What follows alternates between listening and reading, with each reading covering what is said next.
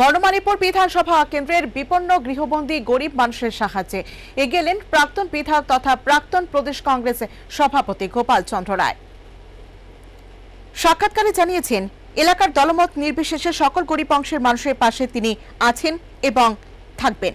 সেই সাথে স্পষ্ট জানিয়ে দেন, সেবামূলক এই কর্মসূচি ধারাবাহিকভাবে চালিয়ে যাবেন তিনি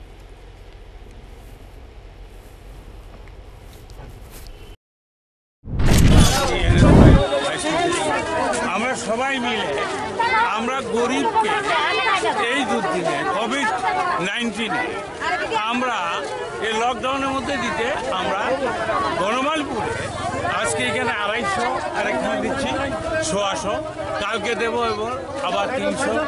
পরশু দিনে দেবো। আমরা দেওয়ার চেষ্টা করছি। কিন্তু আমি একটা কথা বলছি যে গরিবের দিকে তাকিয়ে আমরা বনমালীপুরের ব্লক কংগ্রেস এগিয়েছি আর দ্বিতীয় কথা আমার এটা তিক্ত অভিজ্ঞতা যে এটার জন্য পারমিশনের জন্য আমি অ্যাপ্লাই করেছিলাম। এখানে মাত্র একটা পারমিশন দিয়েছে একটা ভলেন্টিয়ার একটা ভলেন্টিয়ার দেওয়া হয় দুইটা মিলে দুইটা স্পটে তিনটা দিয়েছে। আর কালকে দিয়ে কালকে এখনও পাইনি দেখি। কিন্তু আমরা গরিবের জন্য আছি। গরিবকে আমরা গরিবের জন্য আজকে চাউল দিয়েছি ডাল দিয়েছি চার তিন কেজি ডাল আধা কেজি লবণ তারপরে সরষের তেল সোয়াবিন আলু। আমরা সাত পদ। আমরা দিচ্ছি গরিবকে। আমরা চেষ্টা করছি আমরা সবাই মিলে উদ্যোগ নিয়ে। এখানে সব আমার ওয়ার্কিং প্রেসিডেন্ট আছে।